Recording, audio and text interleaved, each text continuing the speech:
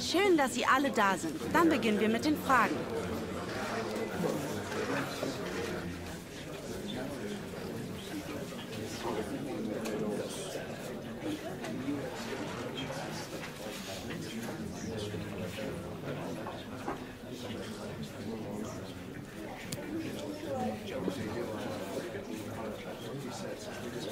Thank you.